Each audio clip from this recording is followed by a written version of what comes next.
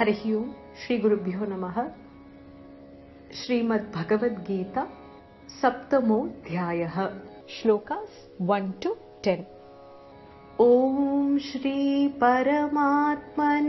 नमः। अथ सप्तमोऽध्यायः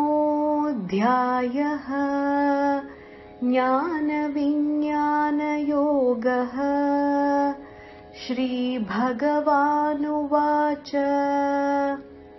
मय्यासक्तमनाः पार्थ योगं युञ्जन्मदाश्रयः।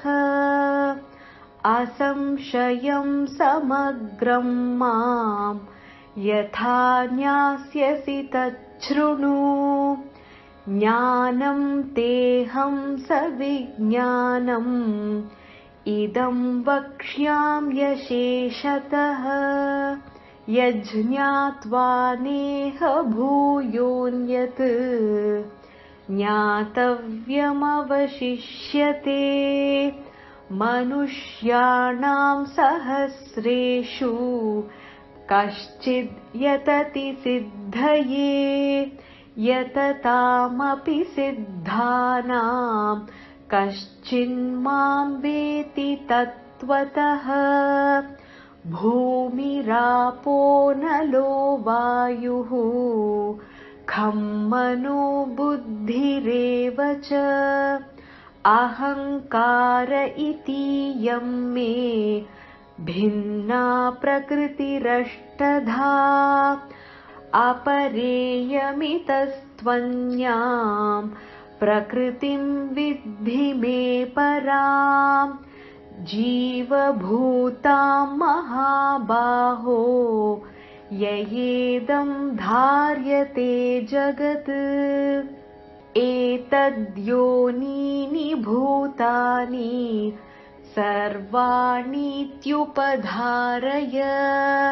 अहं कृत्स्नस्य जगतः प्रभवः प्रलयस्तथा।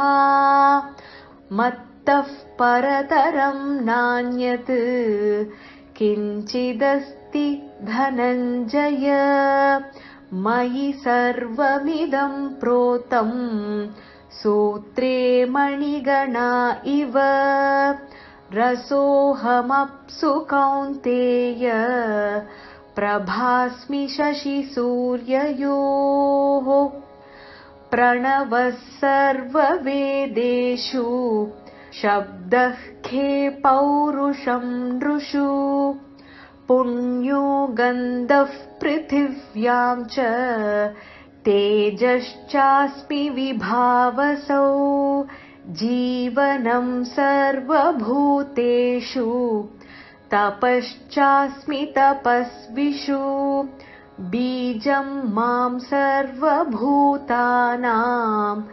विद्धि पार्थ सनातनम् बुद्धिर्बुद्धिमतामस्मि तेजस्तेजस्विनामहम्